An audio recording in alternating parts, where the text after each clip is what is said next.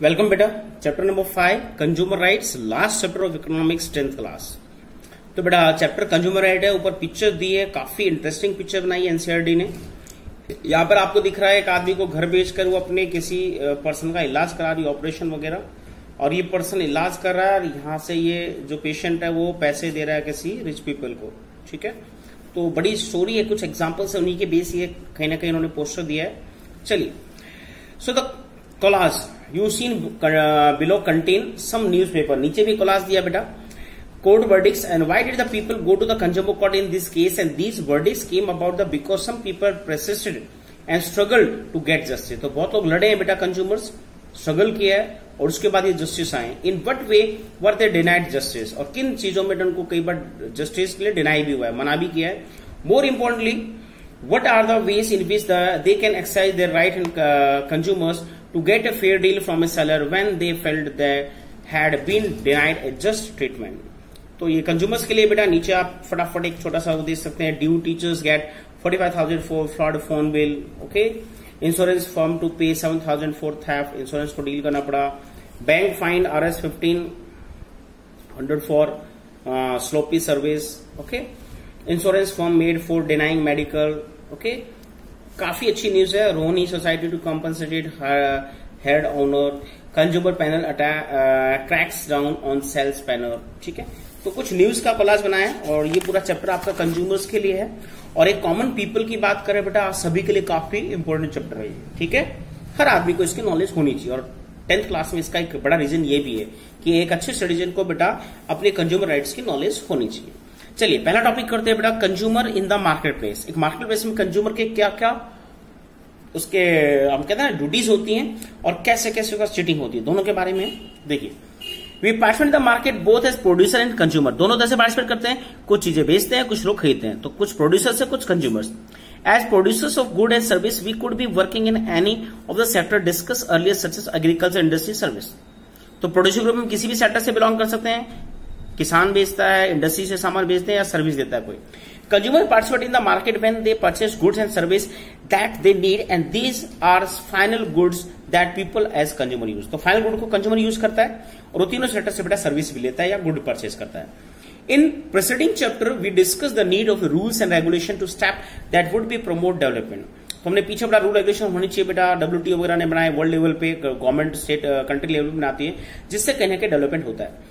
This could be for protection of workers in the unorganized sector unorganized sector का भी हमने example पढ़ा था सेकंड थर्ड चैप्टर में बेटा वर्कर्स को कहने के सेफ़ गार्ड देने के लिए और protect people from high interest rate and charge money lenders ये हमने मनी वाले चैप्टर में पढ़ा था राइट जिसमें इंटरेस्ट रेट के चार्ज में भी कहने की फॉर्मल जो लोन है, उसकी फैसिलिटी प्रोवाइड की गई। Similarly rules and regulation are also required for protecting the environment environment को प्रोटेक्शन के लिए भी कुछ रेगुलेशन बनाए गए हैं। For example, vendors in the informal sector that you have read about chapter 3 adopt various tricks to bind the borrower. तो बरोबर से कई तरीके से वो पैसे लूट खर्च करते हैं हाई चार्ज करते हैं। They could make the producer sell the produce to them a low rate और वो देखो कई बार इंटरेस्ट देकर उससे सस्ते दाम पे अपना उसका सामान खरीद लेते हैं। ये हमने पीछे एक दो केस स्टडी पढ़ी थी।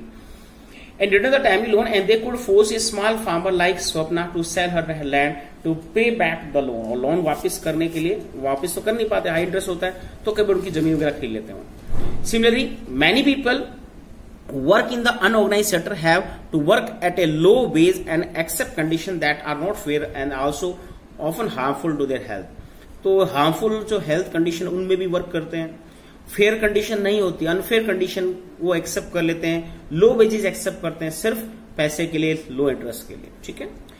We have talk of rule and regulation for protection तो हम रूल रेगुलेशन प्रोटेक्शन के लिए कई एरियाज़ में इसको डिस्कस कर सकते हैं, जो फ़र्स्ट टू फोर हमने चैप्टर पढ़े हर जगह आपको रूल रेगुलेशन मिलेंगे, कुछ लोगों की प्रोटेक्शन के so there are organization that have struggled for long ensure that these rules are follow और ये रूल फॉलो हो इसके लिए बेटा हमारे बहुत से ऑर्गेनाइजेशन स्ट्रगल करते हैं, ठीक है? चलिए ऊपर देखिए आप। So likewise rule and regulation are required for the protection of the consumer तो ऐसे रूल रेगुलेशन बेटा कंज्यूमर्स के लिए होने चाहिए मार्केट प्लेस के लिए होने चाहिए बाज़ार के लिए ठीक है?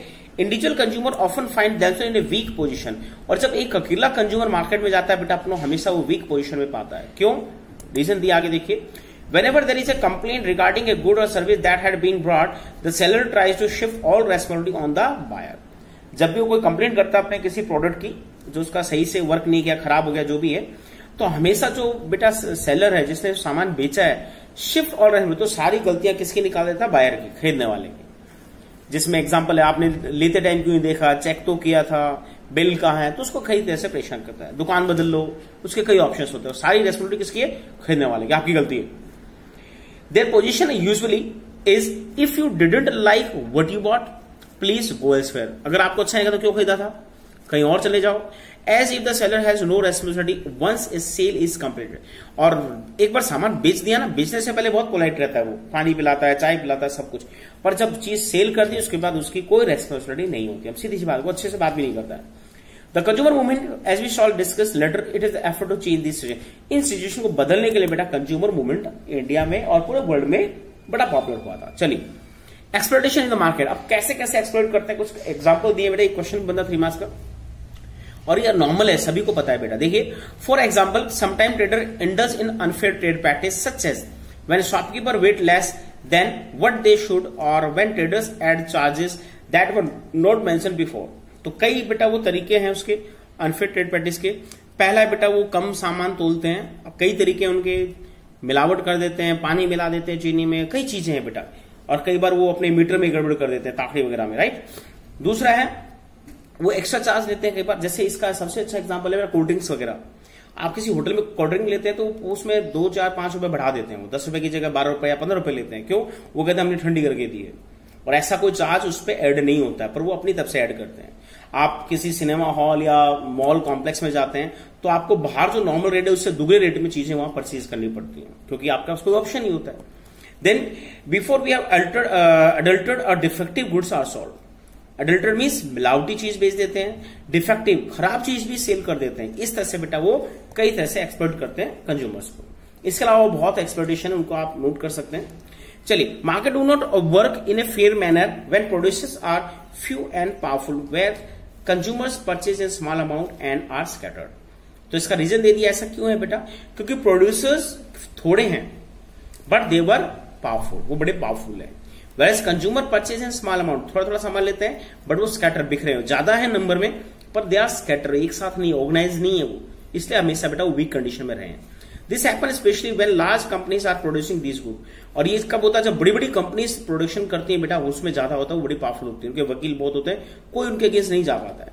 This companies with huge wealth power and reach can manipulate the market in various ways और कई बार पूरे मार्केट पे भी वो कब्जा जमा लेती है। ठीक है? Then, as times false information pass on through the media and the other source to attract consumers. कई बार वो मीडिया पे भी गलत इन्फॉर्मेशन स्प्रेड करते हैं और कंज्यूमर्स को अट्रैक्ट करते हैं। फॉर एग्ज़ाम्पल बड़ा अच्छा एग्ज़ाम्पल दिया है। याद रखना बेटा। A company for years sold powder milk for babies all over the world एक बड़ी कंपनी थी जानी मानी बेटा। मदर डेयरी मुझे याद है बेटा। मैं छोटा था उस टाइम की बात है ये। बड़ा पॉपुलर ब्रांड था बेटा ये। इंडिया में बहुत बिकता था। अब तो खत्म हो गया ये। अब ये हमारे खुद के कॉपरेटिव सेक्टर अमूल वगैरह के दूध ज़्यादा फ़ेमस है। तो बड़ा एक पाउडर मिल्क की कंपनी थी फ़ेमस नाम बता दिया मैंने। देखिए the world as the most scientific product claiming that to the better than mother milk इसने एक क्लेम कर दिया, अपने टैग में, अपनी एड में लिखना शुरू कर दिया कि माँ के दूध से बेटर और हम कहते हैं रिसर्च हो चुकी है डॉक्टर्स क्लियर ही बताते हैं, माँ के दूध से अच्छा। कोई चीज़ नहीं होती है छोटे बेबी के लिए इन्फेंट के लिए right it took year of the struggle before the company was force to accept that it had been making false claim तो कई साल लगे बेटा कंपनी को ये एक्सेप्ट कराने में कि उसने गलत क्लेम किया है। सिल्वरी ये लॉन्ग और बाद में इसको लाइन हटानी पड़ी टैगलाइन अपनी एड वगैरह सबसे हटानी पड़ी बेटा, इसको याद रखना। सिल्वरी ये लॉन्ग बैटल ऐसी एक बड़ी बैटल और है बेटा सिगरेट मैन्युफैक्चर कंपनीज़ के लिए थी। तो the company accept that the product could cause cancer तो इसकी, इनके जो सिगरेट या जितने भी आपके धूम्रपान की चीज़ें इनसे कैंसर होता है। इसके लिए भी बेटा इन्होंने कभी जिम्मेवारी नहीं ली। इनका कहना था, जो नहीं पीते उनके भी कैंसर होता है। बट हम बात करते हैं, उनके लिए ज़्यादा खतरा, जो सिगरेट ये चीज़ें पीते हैं, उनके लिए ज़्यादा खतरा होता है कैंसर का। तो इसको प्रूव करने के लिए भी कई साल लगे बेटा। Has there is a need of rule and regulation to ensure protection of consumer और अब आपने देखा होगा बाद में कई सालों एक्सेप्ट किया अब ये अपने प्रोडक्ट पे वो कैंसर की पिक्चर वगैरह लगाते हैं ठीक है? तो इससे हम बात करते हैं बेटा कंज्यूमर के प्रोडक्शन की बहुत रिक्वायरमेंट है क्योंकि पूरा मार्केट बेटा रिच और थोड़े से जो इंडस्ट्रीज़ है उनके फेवर में ज़्यादा है ठीक है? यहाँ एक पिक्चर दी है। एवरी वन नोज़ तबाकू kill people but who can say that tobacco company should not be free to sell tobacco वो फ्री नहीं है। इनको कौन समझाए? स्मोकिंग के ऊपर है ये छोटा सा। आ, बेटा चलिए नेक्स्ट कंज्यूमर मूवमेंट है वो नेक्स्ट वीडियो में करेंगे हम। थैंक यू बेटा।